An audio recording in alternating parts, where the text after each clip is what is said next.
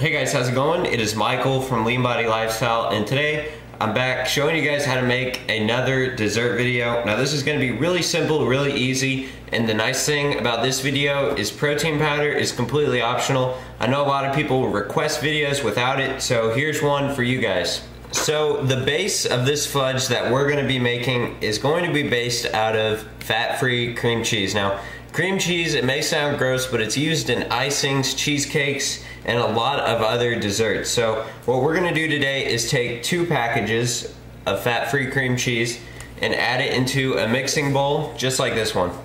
So today, this fudge that I'm gonna be making is chocolate flavored, and what we're gonna do is add eight tablespoons of unsweetened baking cocoa into our mixing bowl.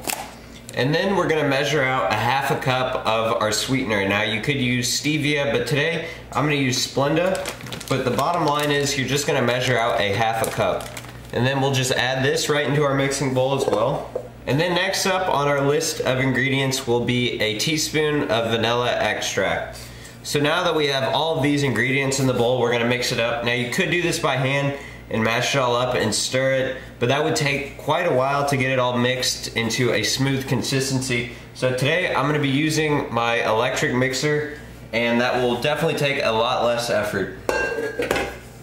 So I just finished mixing up our batter that we're gonna use for our fudge. As you guys can see, and it's a pretty awesome consistency. As you guys can tell by that right there, it's gonna make a great fudge. So here what I have is just a normal baking sheet and I went ahead and lined it with aluminum foil so our fudge doesn't stick to it. And now what you're gonna do is just take the fudge out of the mixing bowl and add it into the pan right here. So I just finished laying the fudge out in this pan as you guys can see and now this step right here is completely optional but I think it will make a big difference in the overall taste. Now what I have here is about a handful of almonds and I'm actually gonna chop some of those up and put them on top of our fudge. So we kind of have a chocolate and almond fudge. I'm just going to sprinkle that right on top of our chocolate fudge. And now what we're gonna do is put this in the freezer for 30 minutes, so I will see you guys then. All right, so here we are about 30 minutes later and our fudge has kind of hardened up a little bit. Now, this is pretty much gonna be ready to serve, so I'm gonna take this out of this tray, put it on a plate, cut it up so you guys can get a better view. So as you guys can see, it pretty much came right off the aluminum foil and that's great because it doesn't really leave a mess. And now it's really easy. We're just gonna cut it up into pieces.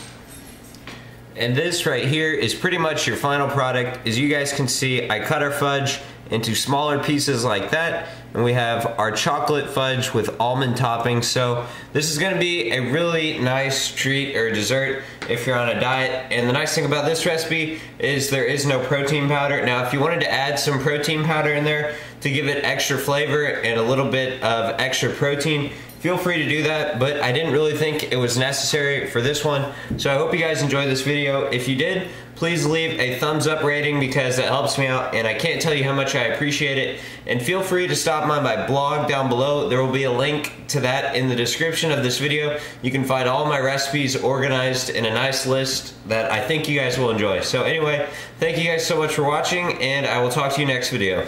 Bye.